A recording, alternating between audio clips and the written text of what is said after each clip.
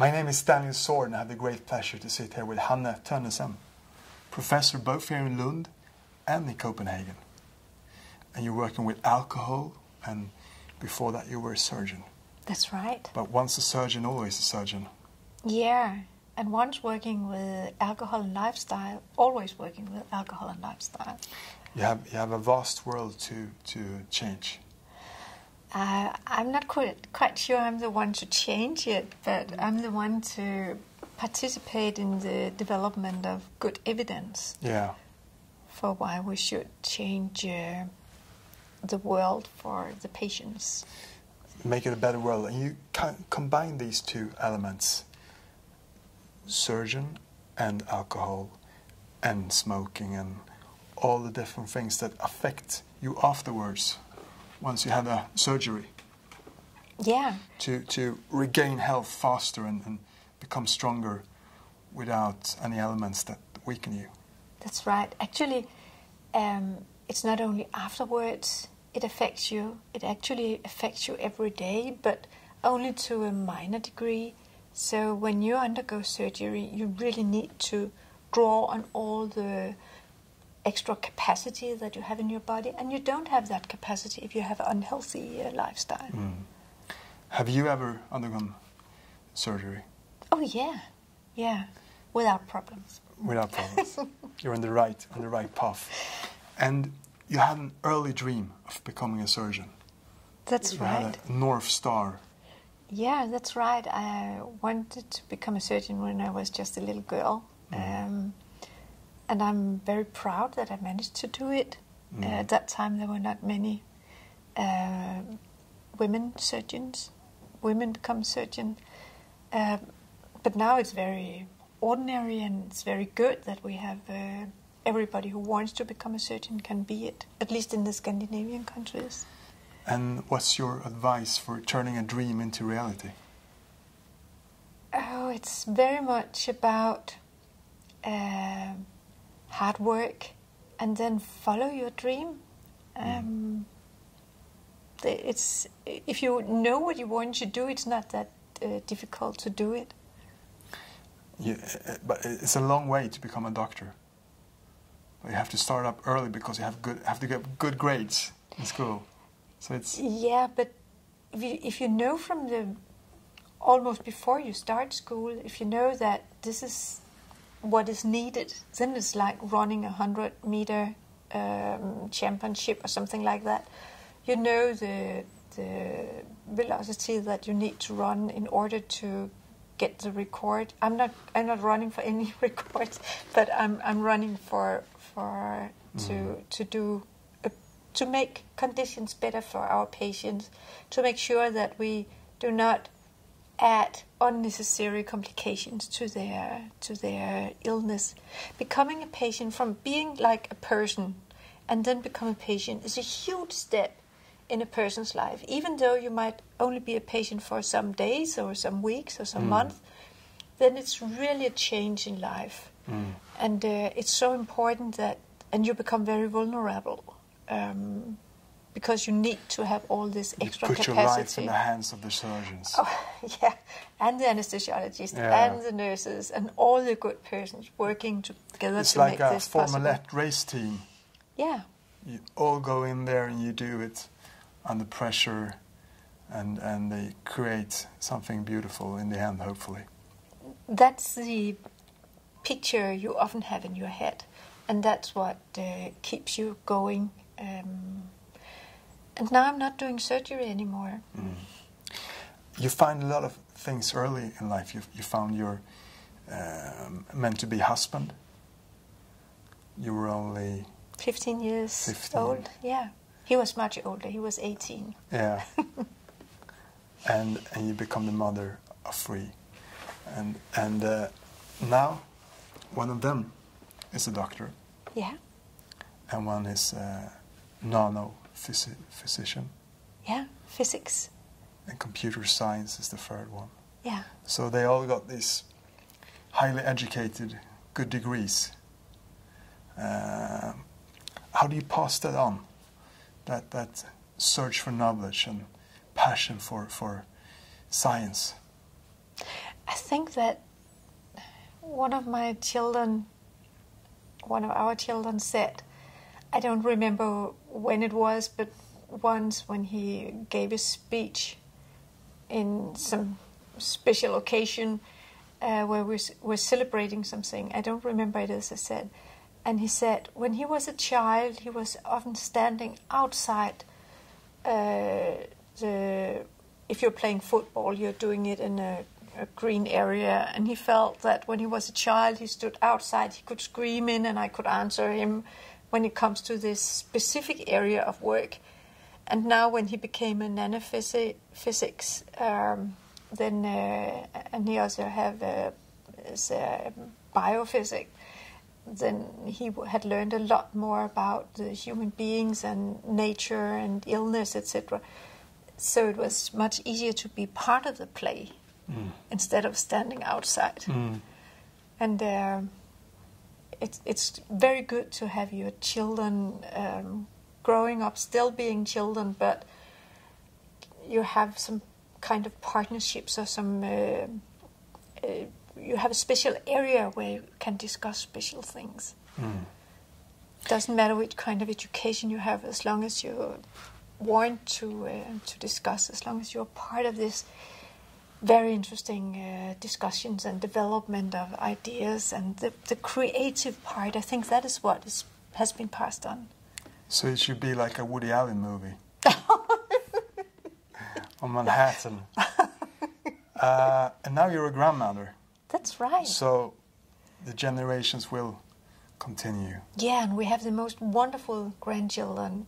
Like we kept the best children to ourselves, we have also kept the best grandchildren. Yeah, amazing. And becoming a surgeon is a, is a very special field you don't just you know describe some drugs or, or, or uh, you go into the wild, you go into action, you went into the line of fire. Yeah. Tell us about a day as surgeon. Um, when you're a young surgeon, you're just learning and learning and learning a lot. You have to improve every day, and that's funny. I know it's not funny for the patient to be ill, but it's really a great job to be able to take away some of the problems.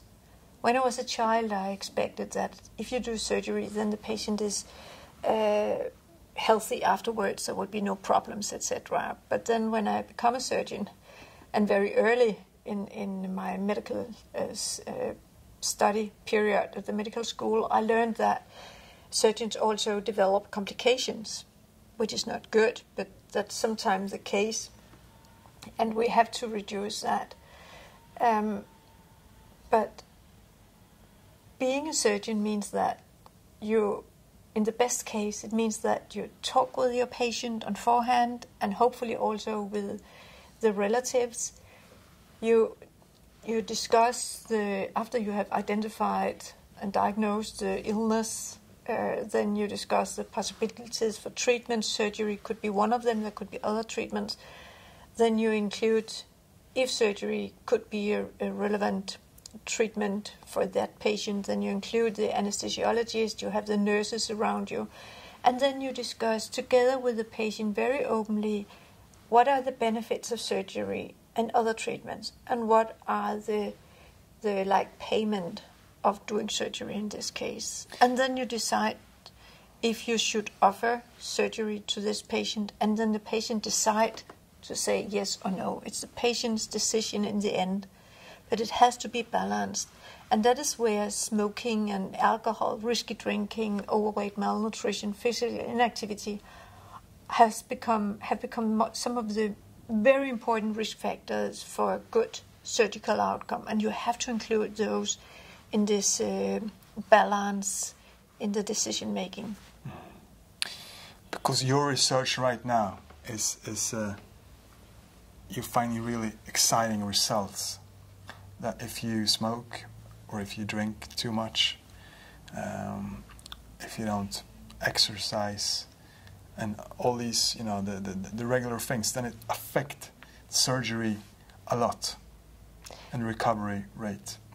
Absolutely. and it's so important that the patient and the relatives are become aware of this knowledge. So, I mean, it's easy for a surgeon to say you should quit smoking before surgery. It's difficult for the patient to do it. So, you should not only offer inform about the smoking and you have the duty to do it as a surgeon. It's your responsibility to do it. Um, and then you also should offer some kind of intervention program that could improve it. That's also your duty.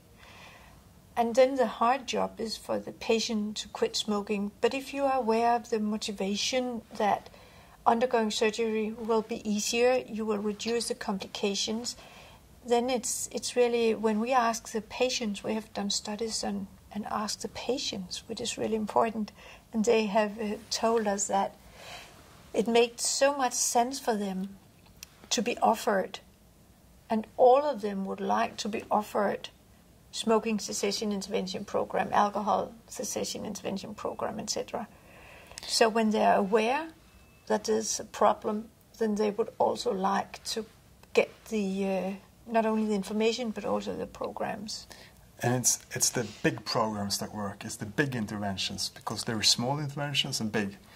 But your research shows that it's, on, it's only the big interventions that research. It's the intensive intervention. That means four meeting of at least half an hour, uh, and and preferable weekly meeting, something like that, supported by pharmaceutical uh, support whenever possible.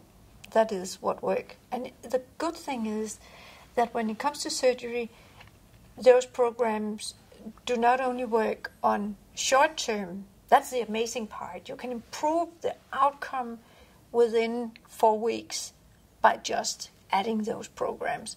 But the good thing is that on longer term, uh, you also got a, a great effect on your health and of your mm. prognosis, and the diseases, of your recovery, all things like There's that. It's a big percentage that continue to be non-smokers and, and non-drinkers afterwards. Exactly, exactly. It's the same. It's the same level as when you um, uh, when you do it without undergoing surgery. When you give this uh, intensive programs, mm. and today they are recommended, for instance, in uh, in the uh, the English the the British, sorry, not only in England but all over, uh, mm. in their national guidelines that intensive smoking cessation programs should be offered to, amongst others, also surgical patients. And these programs cost around a thousand euro, but the extra costs when you're a smoker and undergoing, undergoing surgery is, is about it's much bigger. It, of course, it depends on which kind of surgery you're talking about. Mm. But if you take, for instance, surgery of an ankle fracture, uh, where surgery is needed, then the average cost in Denmark is about 5,000 per patient in average. That's for all patients in Denmark in average. If you are if you drink too much, have a risky intake of alcohol, then the cost will be above 15,000, three times as much, 15,000 euros per patient. Mm. I'm not saying that we can reduce it to 5,000 if the patient quits smoking after uh, in the perioperative period, but at least we can reduce it, and you have 10,000 uh, euros per patient to uh, to support a mm. quit drinking program. So it's really it's a huge amount of money. It's but that's not the important part. The important part mm. is that it's so awful for the patient to develop all these unnecessary complications. But all the people that are smoking probably already knows that it's a high risk of early death and there's you know risk of lung cancer and etc etc etc. So they already know this. Why should they be be be, be more interested in, in quitting when they're uh, undergoing surgery than just in, in general in life? Because the effect is just around the corner. We're talking about four weeks. If you are uh, quit smoking four to eight weeks before surgery, then you will halve the complication rate. So it's really around the corner. Usually, when you talk about reduced cardiac uh, illness or lung cancer, things like that. It's over a long time, and that's important too, absolutely. But getting the benefit right here, right now, and the and Quick the- benefits. It's almost like a Exactly. cigarette. exactly, you get quick, very quick benefits, and then um, uh, the uh, alternative, not to quit smoking, you get an awful lot of problems very quickly. And, you, and, and, the, and the regular benefits uh, of being a non-smoker and and a non-heavy drinker is that you get this effect, the rush of the alcohol or, or, or the rush of one cigarette. But you said that rush disappears. Yeah, very often when you're not a smoker and, and you don't drink, uh, have a high intake of alcohol, don't drink risky, then you have an idea on how it is to be a smoker or um, or a heavy drinker or something like that. But when it comes to reality, in the beginning, when you are smoking, you might get some euphorism like when you are drinking, but very soon, uh, then you get only the problems by drinking and by uh, problems by smoking means that you smoke to reduce the withdrawal symptoms. You're not smoking to get an effect. You're smoking. The effect you get is you feel, oh, now I relax. But what you really relax from are the the withdrawal symptoms. It's really amazing because Yeah. you don't relax really when you get a cigarette. You actually get, uh, if you are usually a non-smoker and you get nicotine, it's like um, uh, what is it called like. Uh, um, You try to reduce the, the abstinence. no, that's when you are a smoker. But Yeah. you, if you, in the early phase, then it's like when you take Eve, Eve, EPO or EPO. yeah, amphetamine Yeah, or for- something for like blood. that. It's to increase the Yeah. uh, the energy, etc. High altitude training. Exactly, things And- like that. And, but the- that disappear. and can you replace these bad habits with good habits? I try to train every morning, when, when I don't, I feel a little bit irritated and, and not so calm. And it's like a morning cigarette, and, and it, this is my habit now. It's absolutely a better habit than the cigarette. Yeah. No doubt about that.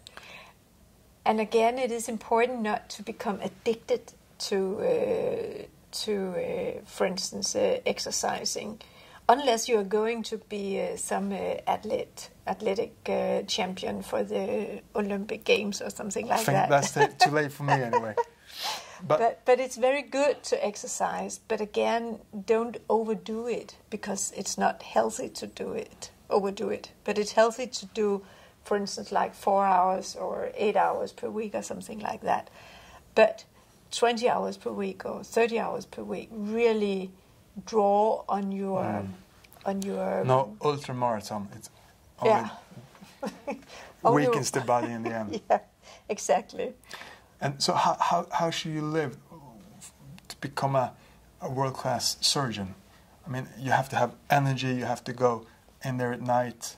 Uh, what, I don't think you really. I mean, you have to take care of yourself and your family, but I don't think that you can. You can change that much. It's more like there are some demands to be a surgeon. You have to have night shifts very until you get rather old, and you have to be able to like this way be wake up in the night if you have to do something, etc. And and it seems to me that some persons uh, can do it or can learn it, and some can never learn it, and they should never be surgeons, or maybe only in daytime.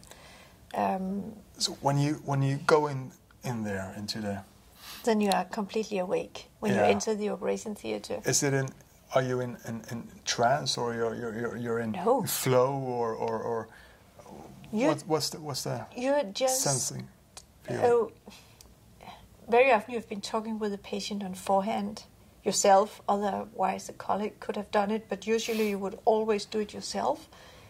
And and then you are just awake. You are uh, you are on, if I may say that, not off but on. Um, but you keep your common sense. You're not your pulse is not that increased or anything like that. You're just focused upon what you're going to do, and the the what you learn as a surgeon is to be very goal oriented, and you are that in your whole life. You become that in your whole life and you have always a plan B, plan C, and plan D, or something like that. It means that if you open, uh, with, cut with your knife or your laparoscopic uh, equipment, then you see something that you haven't expected because it's not always as we expect. Uh, patients are not always uh, inside as we expect them to be. Then you have to use your plan B or your plan C when I was a young surgeon, I participated in uh, in a, a, kidney transplant, and that was really exciting for me because there had been a uh, this patient had had a kidney transplant before, and then I saw that the kidney was placed much more forward in the in the abdomen than where the kidneys are usually placed. That is because it's more convenient to put it there and then if you had to take it out, as we had to do in this case, then it's also easier. So when you make a, a kidney transplant, you have to think about, oh, we hopefully never, but it could be that we have to take it out. So it has to be placed in an area where I can take it out. And also that we have to take care of the of all the organs, of course, the vessels, etc., uh, in the patient. So you could add a new kidney mm. when that time's come, and maybe take that out as well, etc. So this about having a plan A, B, and C is really something that you have to focus upon. And Can you apply that to life as well?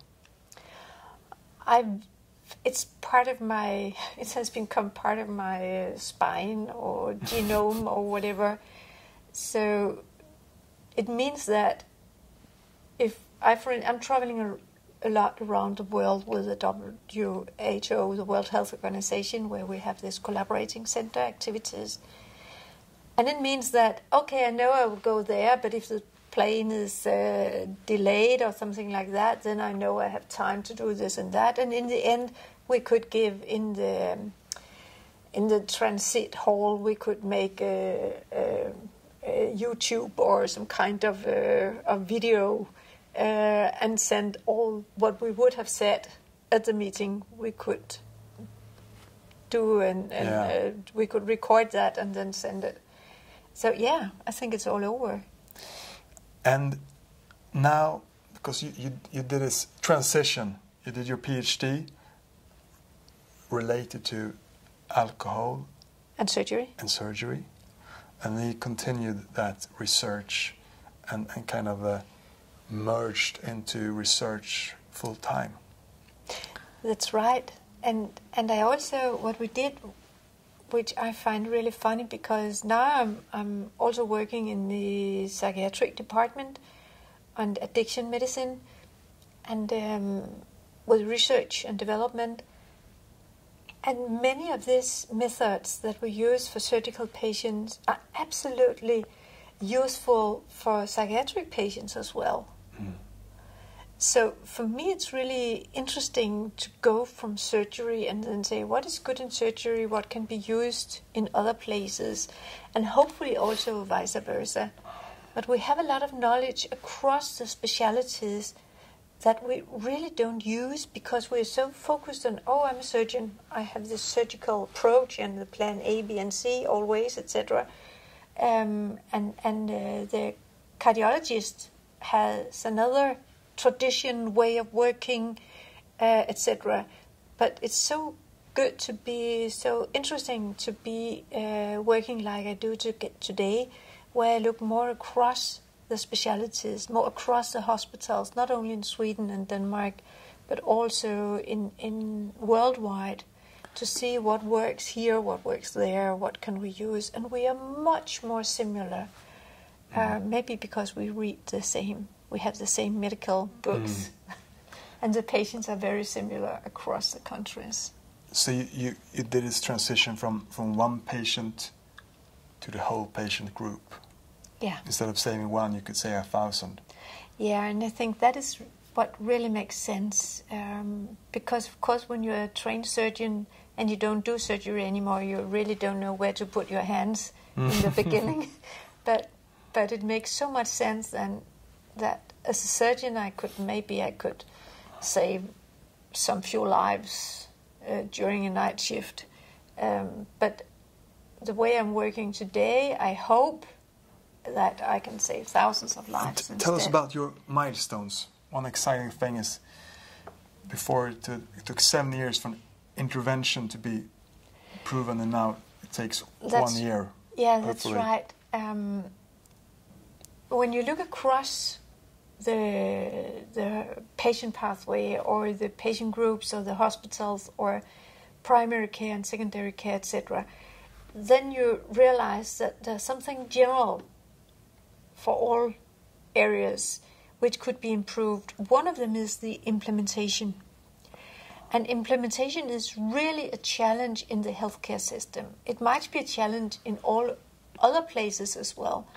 But we need to implement the new strong evidence, for instance, of new treatment, of new diagnostics, etc., new recovery uh, programs. And in, in average, it takes about seven years from you have the evidence in the hand until it is implemented to the patients.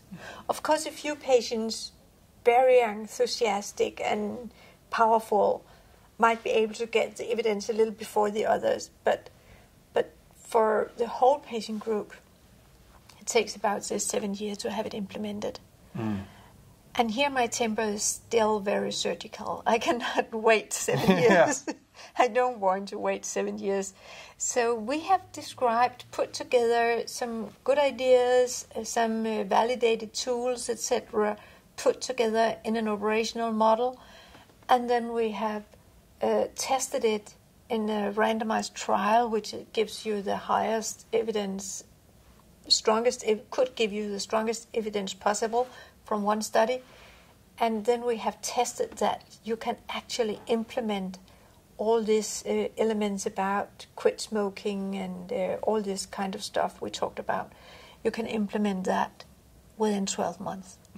And this model has been tested only among what you could call health promotion activities for patients and staff but you could probably use it in other areas. You need to test that. But it seems to be a very simple model, uh, and it could ta- it would take you one year to to have it implemented. It's really amazing.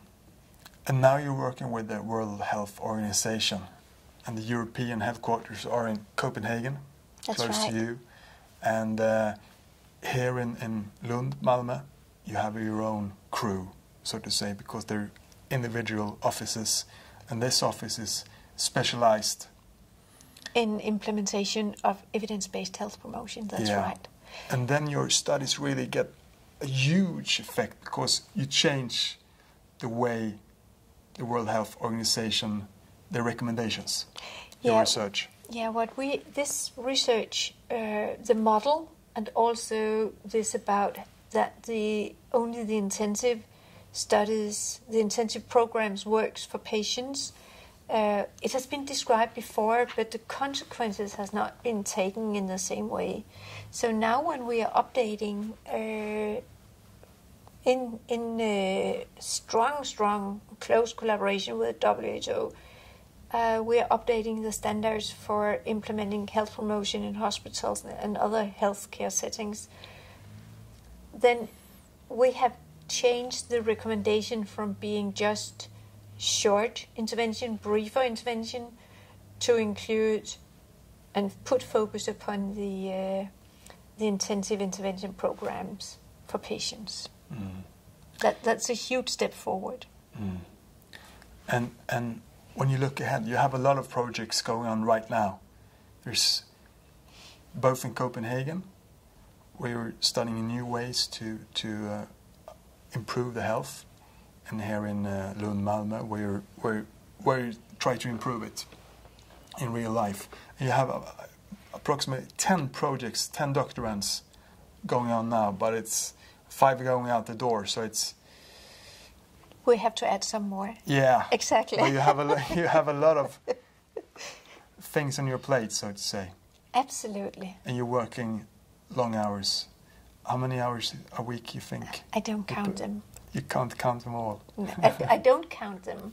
It doesn't make sense because I think it's so funny to do this uh, kind of work. So, if you should be honest, you should count it both as your work and as your Yeah. hobby and as your. That's great because then you get a longer life, Exactly. longer week, twice the amount. Yeah. Um, but what you- what you see in your in your temporary projects? What, what's the brightest stars that could change people's lives?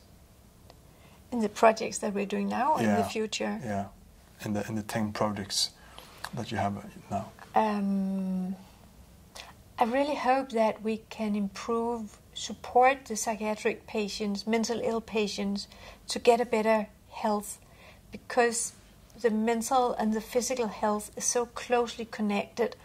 So, and, and mental health patients are very often have over, like neglected or overlooked the the the, the needs for for uh, a better health and to avoid somatic complication in addition to the mental problems.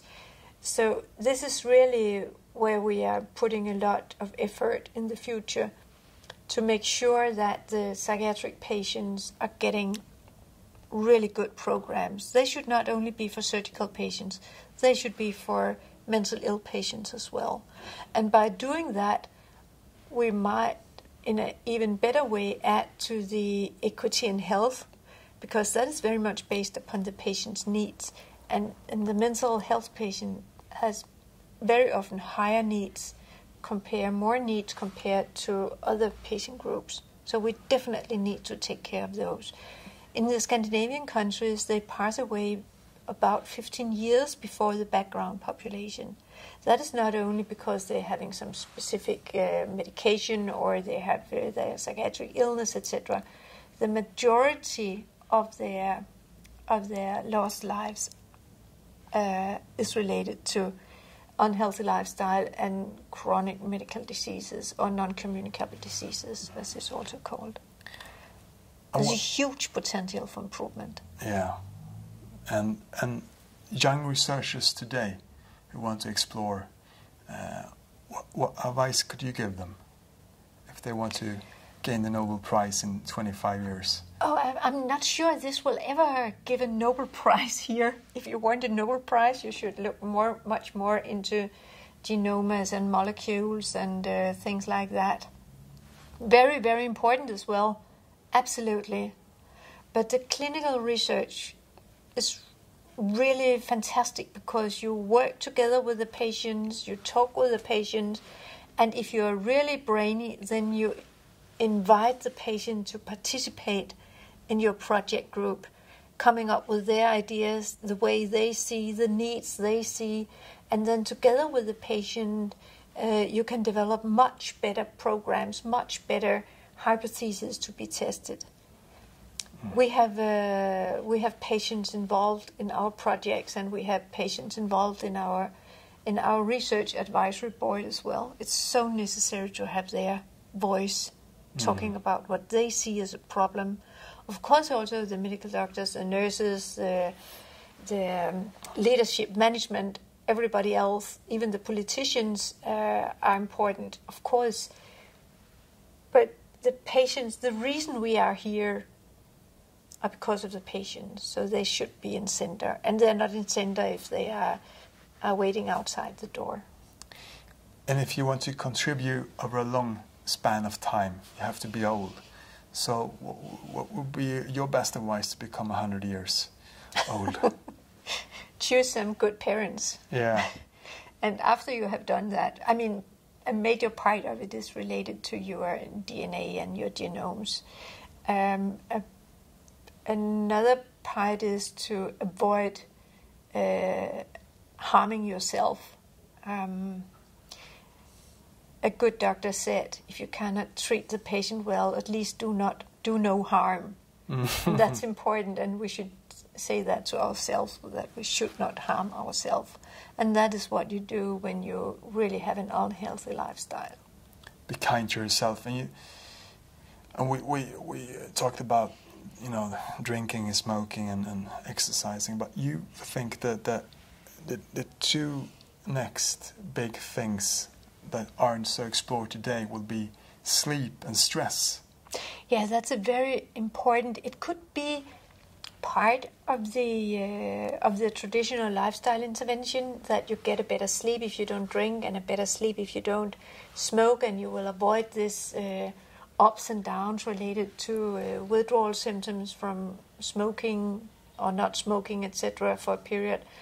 Um, and and if you want to, after you have done that, then you then you really need to focus upon what else can help me uh, sleep better and and not be stressed, not be that influence on the on the work or the family or the challenges, etc. Because you don't really work well when you don't sleep and you are if you become stressed. So it's really important that you feel well, you take care of your family, and you do all the good things to make your solar batteries uh, working perfect. that sounds great.